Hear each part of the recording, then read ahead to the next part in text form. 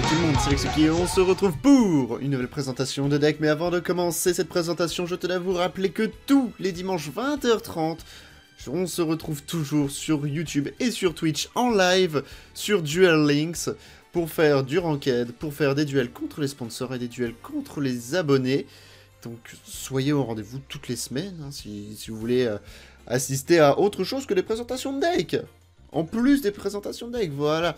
Et euh, généralement, je montre un petit peu mes decks un petit peu en avance. C'est-à-dire que ces decks, je les ai joués euh, dimanche dernier en live.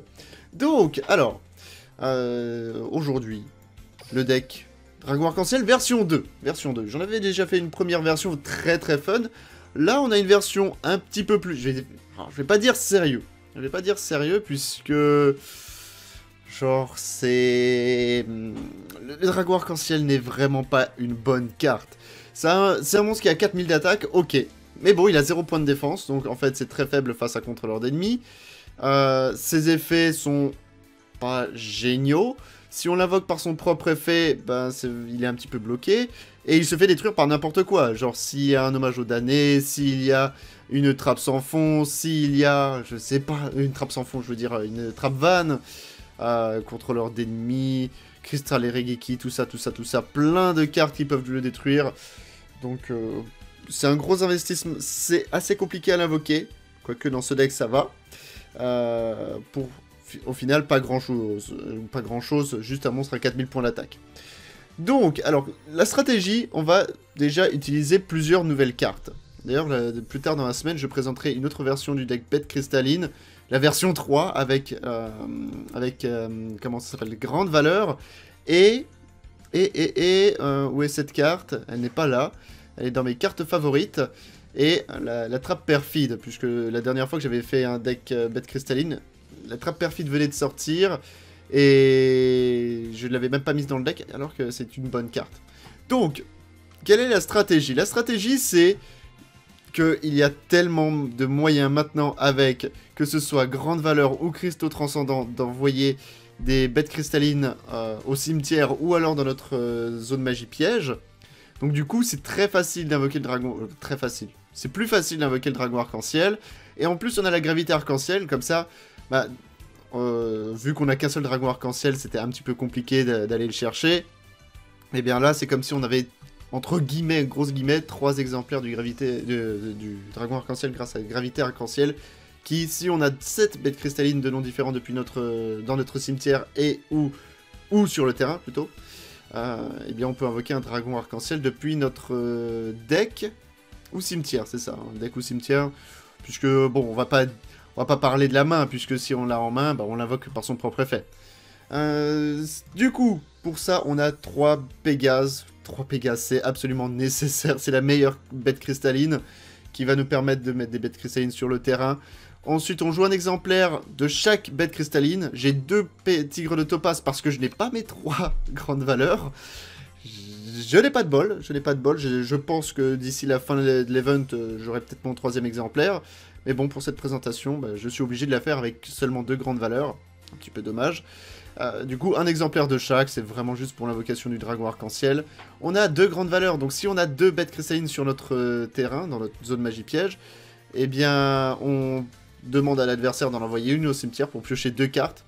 Et ça, c'est plutôt bon, c'est quand même plutôt bon. Ensuite, on a le lien cristallin, qui encore une excellente carte de la reward niveau 45 de Jesse. C'est tellement une bonne carte. On ajoute une bête cristalline depuis notre deck à notre main. Souvent, ce sera le Pégase, et après, on met une bête cristalline depuis notre deck dans notre zone magie piège. Donc, clairement, ça alimente bien. On a les tempêtes, puisque, bon, nous, on va essayer d'OTK avec le dragon arc-en-ciel. Donc, on va détruire nos propres bêtes cristallines avec tempête pour détruire les cartes magie piège de l'adversaire. On a le Crystal Regeki, nouvelle, euh, encore un nouvel ajout au jeu euh, pour les bêtes cristallines. Donc, c'est un petit peu le tourbillon parallèle, sauf que ça peut s'activer durant le tour adverse. Ce qui, des fois, dans certaines situations, est beaucoup mieux. Dans mon autre version, euh, purement bête cristalline sans le dragon arc-en-ciel, je ne joue pas le cristal Regeki, donc ça, va différencier un petit peu les deux versions. Et bien sûr, on a la, gravité arc-en-ciel. Cristaux transcendant est une compétence qu'on obtient durant l'event seulement. Euh, et elle permet d'envoyer une à trois cartes de notre main au cimetière. Donc vraiment l'idéal, ce sont des bêtes cristallines. Et de placer le même nombre de cartes bêtes cristallines depuis notre deck dans notre zone magie piège. Euh, pour remplir notre zone magie piège. Et du coup, cette compétence ne peut être utilisée qu'une fois par tour et deux fois par duel. Deux fois par duel, c'est déjà très très bien. C'est déjà très très bien. Et j'ai pu faire quelques games avec. Je... Le Dragon Arc-en-Ciel sort facilement. Mais sauf que je joue en non classé, je tombe que sur du Sylvan ou du Bête Cristalline. Donc clairement, les matchs, les matchs miroirs sont pas très intéressants. Sylvan, bah, c'est bien sympa, je veux bien, mais Sylvan est un peu trop fort pour ce deck-là.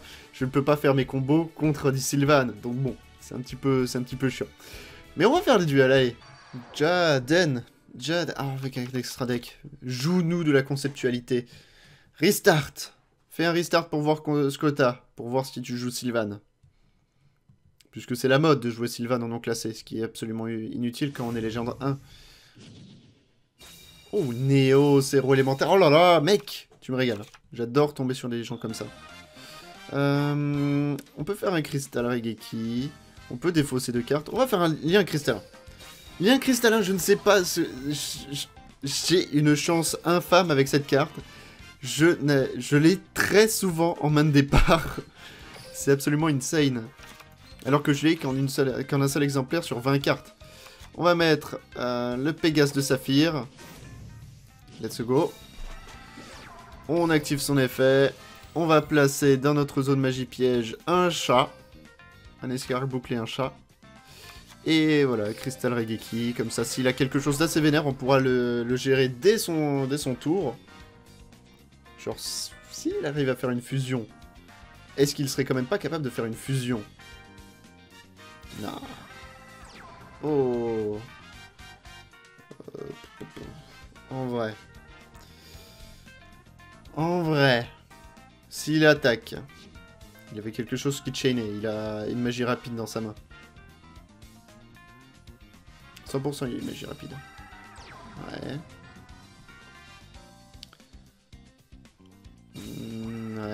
deux cartes. Hmm. Comment on va la jouer, là? Ah, il termine son tour direct Bah, Crystal Regeki. On fait le Crystal Regeki tout de suite, on envoie ça. Il n'a pas voulu attaquer. Donc, on va détruire la première carte. C'était une charge intrépide, ok. Tempête. Hmm. Est-ce que... Non, on va juste poser ça. Non, je pense qu'il aura peut-être un peu de back après. On va terminer le tour. Je le laisse en mode attaque, peu importe. Peu importe, je vais prendre 100. Hmm. Puisque là, s'il m'en détruit un, je la mets dans la zone magie piège. J'espère qu'il va poser une deuxième carte face cachée. Je pourrais faire tempête assez... Enfin, une tempête assez optimisée. Genre détruire mes deux cartes et détruire deux de ces cartes. Mhm. Enfin, optimiser rentable. Ah, et là, il réfléchit. là, il est un petit peu perdu. Il est un petit peu perdu. Je, je pense que je, je l'ai troublé en laissant mon monstre en mode attaque. Il doit se dire, attends, il y a peut-être quelque chose, mais comment il peut avoir quelque chose? Une deuxième carte face cachée. Comment il peut avoir quelque chose de... Plus sa main? Oh, il est considéré comme Néos. Incroyable. Incroyable. Si je pouvais avoir une grande valeur au prochain tour, ce serait vraiment très fort. Hum, hum, hum. Détruis mon monstre. Allez. Il a quelque chose qui chain. Il a un contrôleur d'ennemis quelque part. Oui, j'active son effet. Voilà. On a un mammouth d'ambre.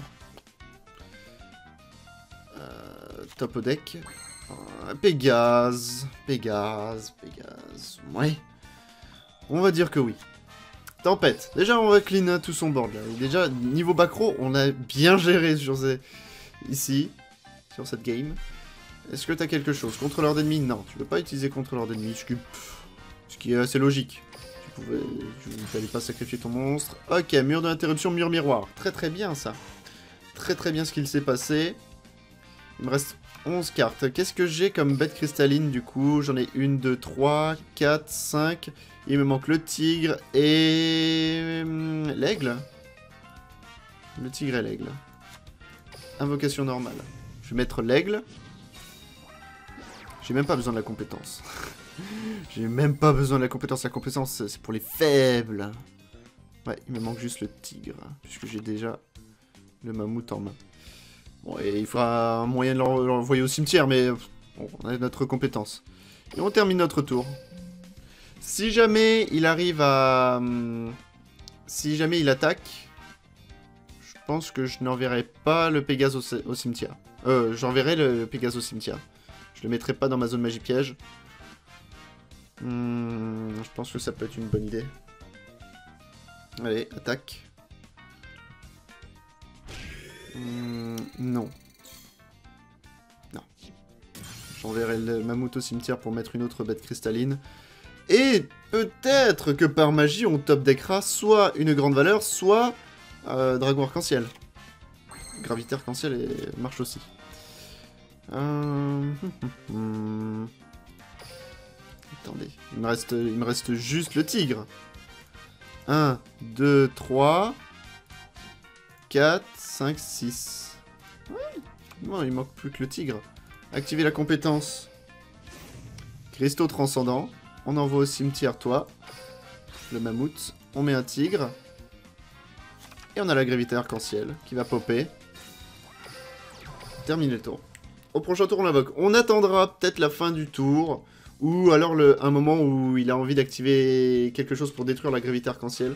On va pas le faire instantanément, ça ne sert à rien. Ça ne sert à rien, ça lui donne l'occasion de peut-être faire un contrôleur d'ennemis ou autre. Donc, euh... Ouais, non, on va, faire... on va laisser ça comme ça.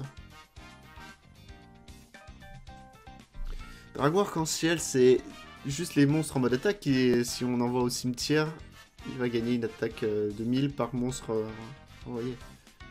Ça compte pas les, monstres dans la zone magie piège. Je crois. Il faut que je relise. Par contre, t'abandonnes pas, hein, puisque là, on est sur le point d'invoquer le dragon arc-en-ciel. Le dragon motherfucking arc-en-ciel. Donc s'il te plaît, c'est le but de la vidéo de l'invoquer. Normalement, on devrait l'invoquer plusieurs fois, hein, ça, ça, sera bien. Un scarabée... Oh Il va invoquer le Néos flamboyant Est-ce qu'il a un Néospace pour le un Néospace pour le garder? Non Il n'a même pas le Néospace. Gravité arc-en-ciel. D'ailleurs, je pouvais pas l'invoquer, il fallait qu'il détruise mon monstre. Mhm. Mhm, mhm, Invocation flip tortue d'émeraude. Non, te déconnecte pas, il est en train de se déconnecter. Non, tu restes là. Hein. Tu restes là. Hein.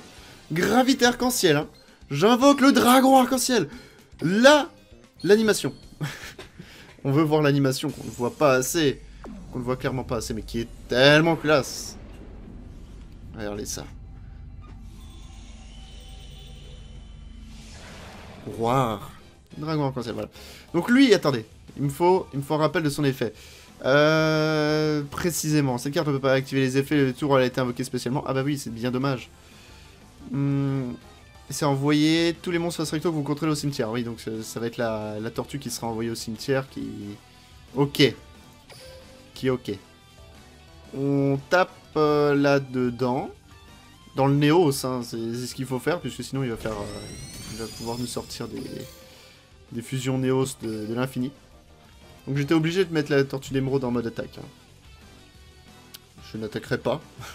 Bien dommage. Et là... il capte pas. Oh, il a une compétence qui s'active euh, à la pioche. Pioche de la destinée, non. Ah non, ou alors il a pas envie de piocher. oui, non, non, non, il pioche. J'ai rien dit. Non, il joue restart, je suis con. il joue restart. Qu'est-ce que je raconte? Alors, est-ce qu'il va abandonner? Est-ce que tu vas abandonner? Jaden Yuki versus JC Anderson Tellement RP comme duel. Ce duel est tellement RP. Hmm, non, je vais pas activer l'effet du dragon arc-en-ciel quand même. Oh, et le tigre. Le tigre qui arrive au bon moment. invocation normale.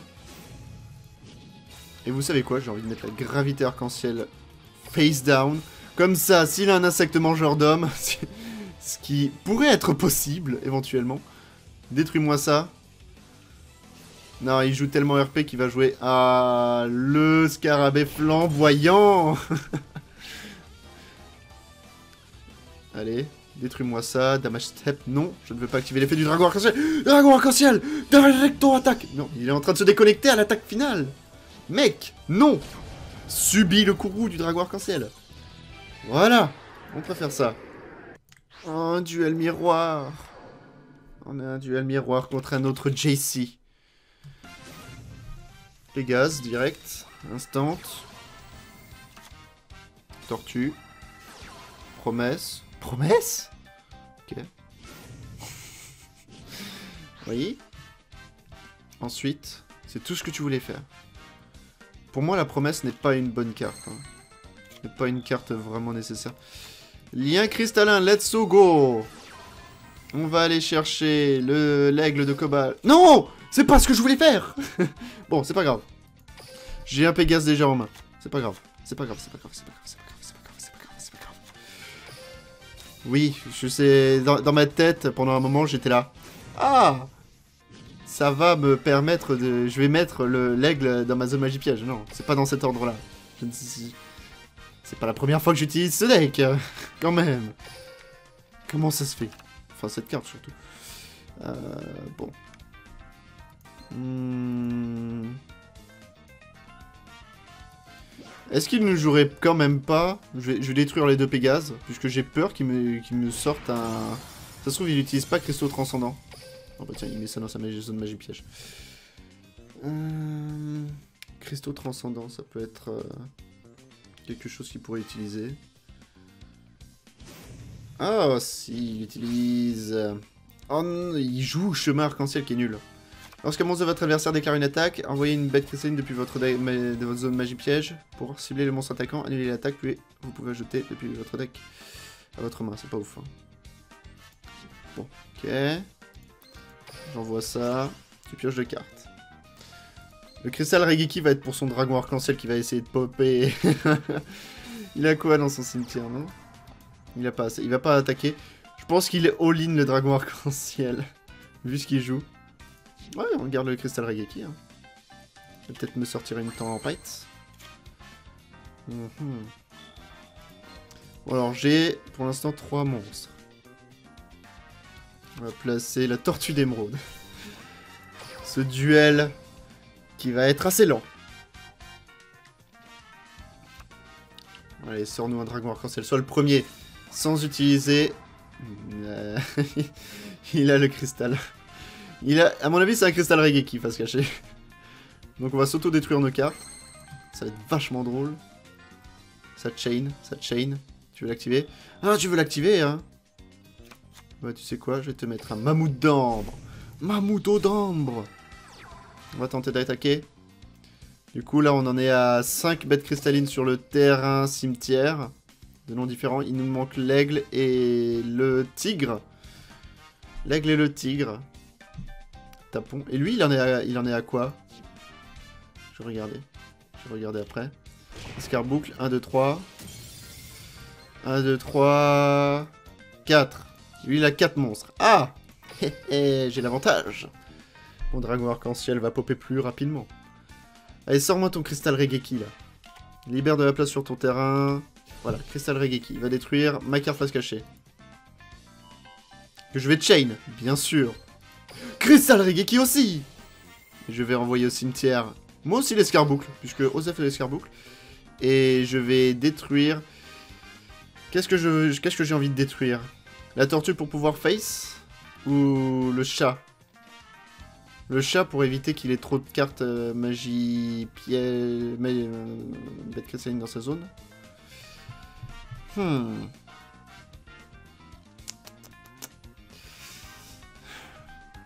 De toute façon, il y a Cristaux Transcendant. S'il veut se refaire... Euh, on va détruire la tortue d'émeraude qu'il va placer dans sa zone. Euh, ok, il l'envoie au cimetière, tiens. Il veut absolument défausser quelque chose dans sa main, peut-être. Hmm, au prochain tour, on gagne sans le dragon arc-en-ciel. Cristaux transcendant, ok. Oh, oh Gravité arc-en-ciel. Oh, il a un dragon arc-en-ciel en main Il a un dragon arc-en-ciel Non Oh, non, même pas. Bah moi j'ai le dragon arc-en-ciel. Euh, gravité. Alors toi, t'as... Il avait un renom Kuribo. Qu'est-ce que si cette carte est sacrifiée, piochez une carte. Si un monstre que vous contrôlez va détruire le combat, vous pouvez bannir cette carte de Alors attendez, on est à 3, 4, 5. Il manque le tigre. Activé. Il manque le tigre et l'aigle. L'aigle, dégage Tigre, invocation Je retourne la tortue Et invocation, c'est moi qui vais l'invoquer Dragon arc-en-ciel Sans même l'utilisation de ma carte piège. Invocation. Allez. Oh là là là Pourquoi ils peuvent pas faire ça pour tous les monstres? Des animations comme ça. Ah, Peut-être que les duels dureraient deux ans. Mais n'abandonne pas! Il a abandonné instant face au dragon arc-en-ciel. Alors? Tout ça parce qu'il a pas réussi à l'invoquer, lui. oh, un Joey. Un Joey last game bleu Oh, terrain des guerriers. oh, c'est pas drôle. Ouh, c'est samouraï. Lui, il se prépare pour la prochaine box. Qui... Pareil, euh, qui, qui va sortir le même jour où vous verrez cette vidéo, d'ailleurs. Vous inquiétez pas, les vidéos sur la prochaine box que je trouve intéressante niveau YouTube deck, des decks euh, exclusivement pour YouTube qui sont pas très compétitifs. Je pense que... Après, il y a peut-être certains qui vont ressortir en méta. Pour l'instant, je fais pas de pronostic. clairement, on est sur des trucs pas dégueux. Euh, toi, tu fais quoi? Tant qu'elle est équipée à un monstre, cette carte ne peut pas être détruite par des effets de carte. C'est bien dommage puisque je mettrai un cristal Regeki. Activer la compétence. On va envoyer au cimetière. Toi et toi. On va mettre un chat et une tortue. Ouais. On a déjà 4 bêtes cristallines euh, terrain et cimetière. On met un cristal. On met le tigre. Ça fait 5. Il nous manque un Pégase et un mammouth. C'est ça? Ouais. C'est ça. Pégase mammouth. Non Oh, salaud. Qu'est-ce qu'il a fait? C'est bien une carte magique que vous trouvez, hein Détruisez les deux cibles. Oh, c'est pas dégueu, ça Cette carte peut pas être détruite par des effets de carte. ça, je m'y attendais absolument pas. Murazame. Oh Ça risque d'être un peu problématique, là. Euh, non, on va pas activer son effet. Ça risque d'être un peu problématique. Euh, ça risque d'être vraiment problématique. Crystal Regeki. Bah oui. bah oui, mais non. bah oui, mais non. Mais non. mais la combo du futur, double cyclone sur le Murazame. ok. Ok. Moi, je suis venu ici pour être euh, diverti. On m'a diverti, là Oh, le double cyclone que je n'attendais absolument pas. Bon, je peux le détruire, lui. Mais je vais subir euh, beaucoup trop de dégâts. Ah, et en plus, il peut détruire autre chose. Qui va détruire lui. Peu importe. Bien joué Eh, il m'a surpris avec ça je, vous montre cette, euh, je, vous montre ce duel où je me fais rect juste pour cette combo insane qui m'a sorti quoi, qui m'a foutu la game en l'air alors que j'étais plutôt bien. Insectoraga, incroyable. Insectoraga, 22 cartes, infestation de parasites, très bien. Très bien. D'ailleurs, j'ai même pas changé mon playmat euh, pour adapter selon mon deck. C'est un petit peu chaud.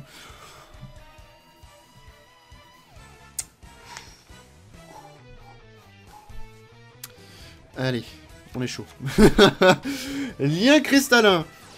Oh là, man You're not ready for this On va mettre euh, la tortue. Into. Into. On fait ça. On aurait peut-être dû faire ça dans d'autres sens, mais bon. J'active l'effet du Pégase. T'as quelque chose qui veut s'activer je vais sélectionner une carte. Escarboucle. Boum, on va te sortir instantanément une tempête. Toi, t'es pas... T'es pas tombé... En Massimorph Ok Ok Je m'en fous, comme ça je peux focus tes deux autres cartes Boum Et là, tu n'as plus rien. Tu n'as plus rien.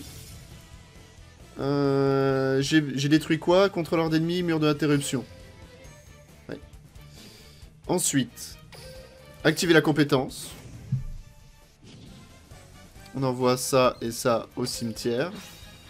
Toc toc. On va mettre ça et ça. Le tigre, le tigre on l'a envoyé au cimetière. On a les 7 bêtes cristallines. Est-ce qu'on n'aurait pas les 7 bêtes cristallines? 3, 4, 5, 6, 7. Allez, 7.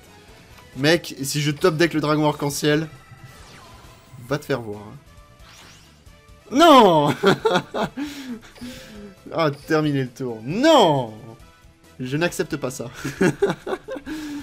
C'était beaucoup trop beau C'était beaucoup trop beau. Euh, toi, tu vas me sortir un Octros, Into... Oh, gravité arc-en-ciel, ça c'est bien ça. Toi, je le sens, je le sens, je le sens Le sang de ses morts. Je... Que tu... Tu vas me sortir un Octros. Si tu me sors un Kizetei, quand même. Un Octros, ouais. Il va me sortir Golem de lave. Oh mon dieu, Golem de lave Bah ouais, tu vas sacrifier mes deux monstres, je vais perdre 1000. Oh mon dieu et je vais te sortir un dragon arc-en-ciel, tu vas rien capter à ta vie. Et... Ce sera tout. Ce sera tout. Sauf s'il Sauf s'il repose des cartes face cachée. Mais il faudrait du coup que je top deck un... Un petit... Euh, bon. On va attendre la end phase de son tour. C'est la fin de la main phase. End phase, gravité arc-en-ciel. Hop Dragon arc-en-ciel. On le met en mode attaque.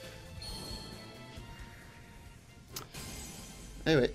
Tour 5 Tour 5 le dragon arc-en-ciel Ce deck est beaucoup trop rapide maintenant, avec euh, rien qu'avec la compétence et les nouvelles cartes. Grande valeur, des trucs comme ça. C'est tellement rapide. Madro Phase. Grande valeur encore. Ouch. Ouch. Boum. Pégase de Saphir. Là, là je, vais continuer à faire mes moves. Hein. Comme ça, il va peut-être abandonner. Il va peut-être euh, prendre le somme. On va sélectionner une carte. Peu importe. Allez, mammouth d'ambre. Donc voilà, j'espère que vous aurez apprécié cette vidéo. N'hésitez pas à laisser un like, un petit commentaire, à vous abonner si ce n'est pas fait. Et on se retrouve plus tard dans la semaine pour le deck bête cristalline pure. Et pour mes autres vidéos sur Yu-Gi-Oh! Tag Force, sur Little Witch Academia, ainsi que Danganronpa, Trigger Happy Havoc. Allez, bye tout le monde Et bien sûr, les lives le dimanche, 20h30.